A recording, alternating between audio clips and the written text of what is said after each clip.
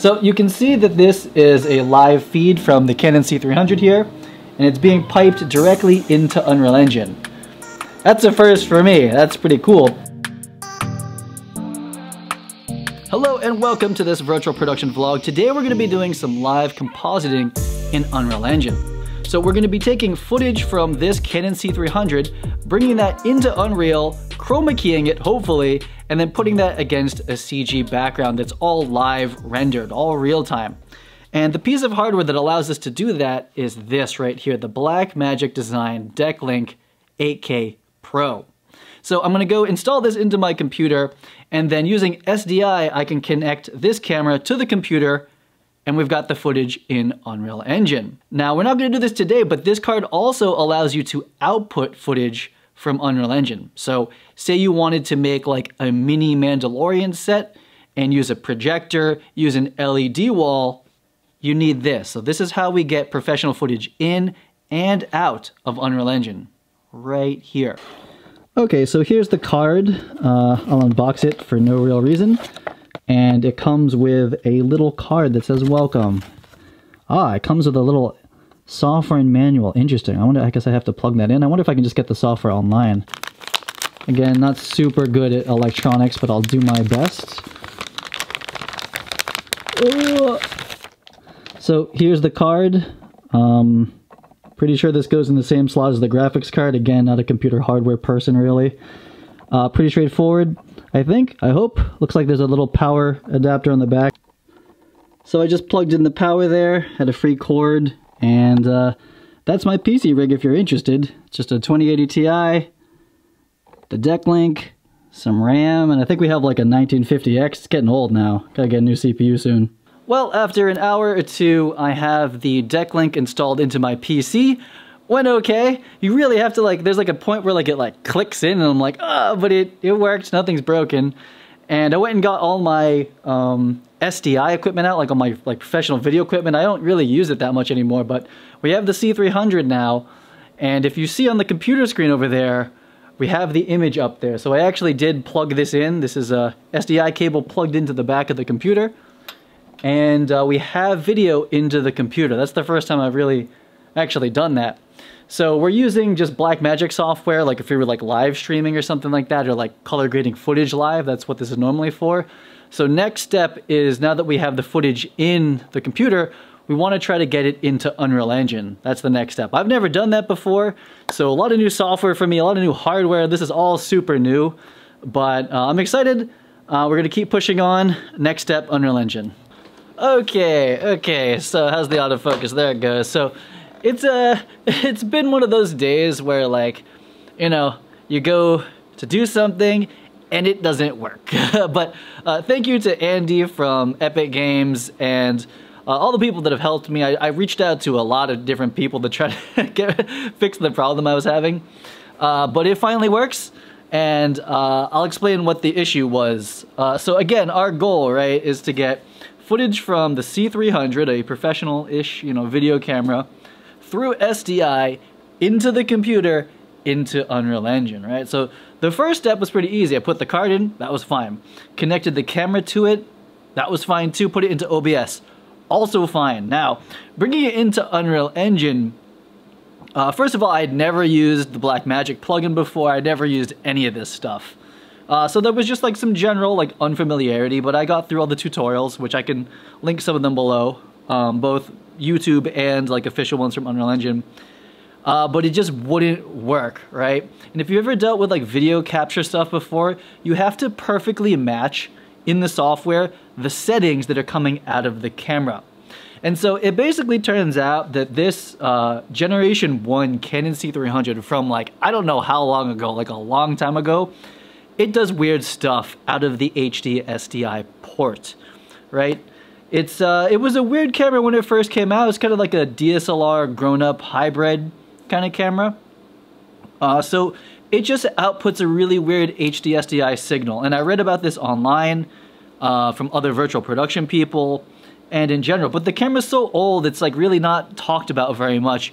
And I doubt developers at Epic Games or even like, uh, you know, Blackmagic really consider this too much anymore, and they shouldn't because it's super old. I don't think anyone else is going to try to do it with a C300.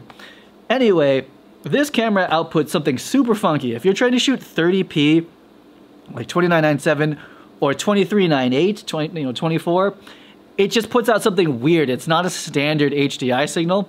So the only way that this camera can really work with Unreal Engine right now, unless I figure something out, is if I put it in, get ready for this, 1080i interlaced 5994, which is 60 frames per second. And I think that's like kind of how Canon did the like 60 frames per second slow motion hack to make it work to kind of cram the data. And again, this is from a long time ago. Anyway, if I put the settings to 5994 1080i, everything works great because that is a standard video format for like, you know, I don't know what, but for some some broadcast format. Anyway, I have seen breakdowns tutorials from other people that are using other cameras like Alexas. You can just shoot regular 24, 2398. I'm pretty sure for all the broadcast cameras, you can shoot 2997. Uh, and they're going to output the proper HDI, HDSDI or just, you know, SDI signal so that it works and it's like the industry standard and whatnot. It's just my weird Canon C300. It just doesn't do it right. It's kind of old. I wonder if the C500 Mark II or the newer Canon, like the C700, I assume those have more like standard HD SDI outputs. Uh, but this leaves me with uh, something new here. I need to buy a new camera for virtual production. So that's kind of fun, but also rip my budget. That sucks. I have to go buy a camera and all the stuff that comes with it.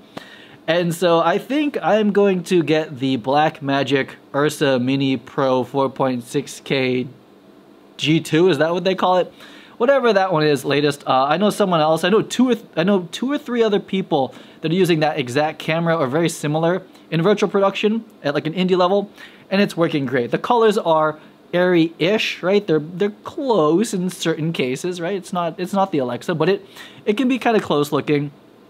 Uh, the price point's not bad. I think all in it's probably like 10,000 once you get it all kitted out, that sort of stuff. And it takes EF lenses, which I'm I'm staying EF. We're not I'm not investing into PL lenses anytime soon. That's like 50k out of the gate plus matte boxes and support, and it gets expensive really quickly. Uh, so EF lenses, and you know I would assume that the Blackmagic Pro Ursa Mini, especially the new one, outputs you know time code 12G SDI that is compatible with the Blackmagic capture card. So there's also that that kind of thing at play. So uh, not a lot to show today. Uh, this has been kind of just like a tech uh, thing. Got some stuff installed, but I'll show you what we got done in Unreal Engine. No cool video like mocap or virtual camera st stuff to show right now, but um, it's a it's a kind of a small progress vlog and I'll show you what we got done in Unreal Engine. Okay, so welcome to the chaos that's been my life for the last couple hours. Anyway, this is the Blackmagic desktop uh, video app, and it basically tells you which port of the DeckLink you're currently using, and you have to configure it correctly. It's a thing, but if you look closely, I'll zoom in. It says video input 1080i 5994 ew, but that's the input we have from the C300, and that's how I got it to work. Uh, again, for other cameras, uh, I think you can use good old 24 or 2398. We'll find out. And you'll see here that now uh, we have an image. So I'm going to hit play, jump in here, and we have just basically this little uh, 16 by 9 texture. But that texture, that is a live video feed right there. So I'm going to just park myself right here, and I'll go move the camera to prove it to you.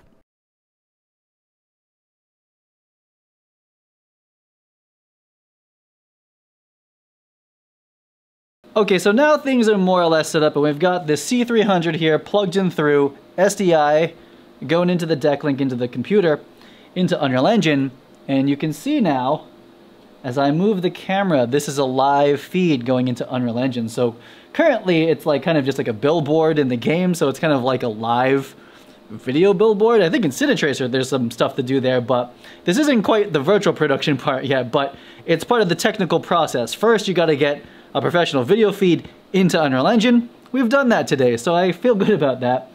And uh, this isn't much of a setup here, but you can imagine uh, if it was a person, we lit it better, and then we actually keyed out the background, we could put Unreal Engine in the background and have it be live and move the camera, do the lighting in real time, you know, the whole actual virtual production part. We're gonna get to that. We're gonna get to that. But turns out it took me an entire an entire day to get the card in, to get it all working in Unreal. So that's what this demo is. Nothing crazy. So I'll just zoom around a little bit.